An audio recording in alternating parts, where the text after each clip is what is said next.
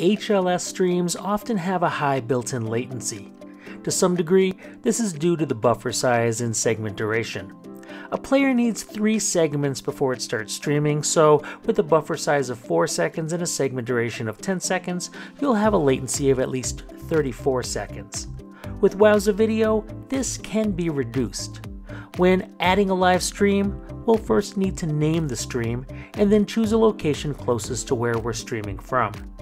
Next, we'll choose our type of ingest.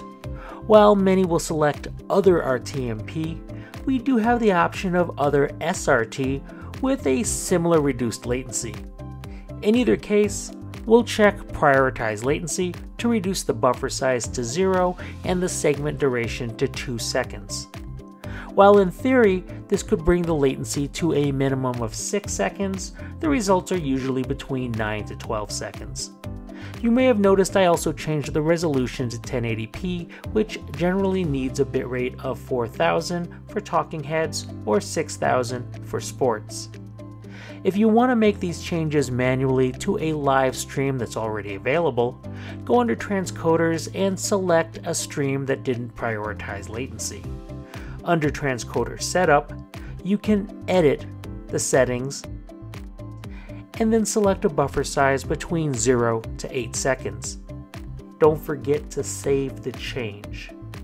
For the segment duration, you'll need to go under Stream Targets and again select the same stream that didn't prioritize latency. Under Properties, you can once again edit the settings by first enabling the HLS segment duration, then selecting a duration between 2 and 10. Again, don't forget to save. To see this working, we'll use the live stream we've just created. To do so, we'll need the source connection information to be entered into the encoder along with a number of configurations. Now for this, we'll be using OBS Studio. Under settings, we'll want to be sure the audio is set to a 48 kHz sample rate and the video is set to use a resolution of 1920 by 1080. Now under output, we'll choose the output mode Advanced. For audio, we need a bitrate at 128. Then back under streaming, we'll choose a rate control of constant bitrate or CBR. Since my video has little motion, we'll make the bitrate 4000 kilobits per second. With the segment duration of 2 seconds, we're going to set that keyframe interval to be the same. We'll also make the CPU usage be very fast, the profile high for 1080p, and most importantly, tune for zero latency. Last of all, we want B-frame set to 0 and scene cut set to 0. Tuning for zero latency may do this on its own depending on the encoder, but we'll add it in just to be safe. B-frames can cause issues transcoding, and scene cut can cause issues if there are many quick scene changes in succession. Now under Stream, we still need to go to Service and choose Custom. Then we'll add in our source connection information. Remember the stream name is entered as the stream key. Once everything is entered and you're ready to go, just start streaming to Wowza Video.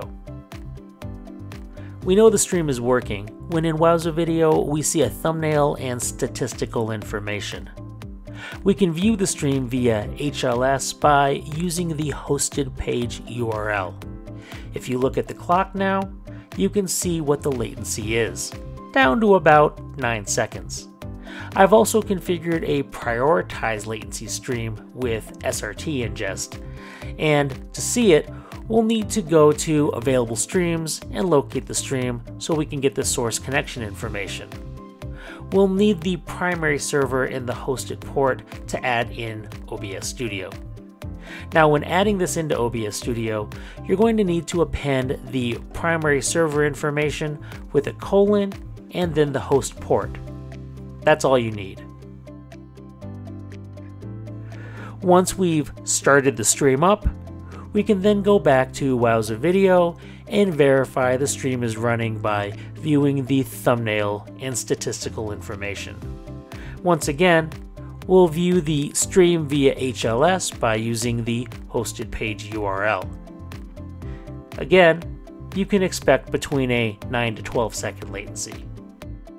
Now, if you need a stream that is near real time, you have the option with Wowza Video of creating an alternate WebRTC output. Doing this will still leave the reduced latency HLS output, but will also allow a WebRTC viewing option, albeit for a much reduced audience. You'll need your own WebRTC playback for this option to work. We'll be using wowza.com slash webrtc slash play. In Wowza Video, go under Transcoders and select the stream. Then go to the Outputs and Targets tab. Here, we're going to copy the pass-through output and make a few changes to this copy. We'll change the video codec to H.264 and the audio codec to Opus. The video bitrate and audio bitrate need to be the same as we put in the encoder, which is at 4000 and 128 respectively.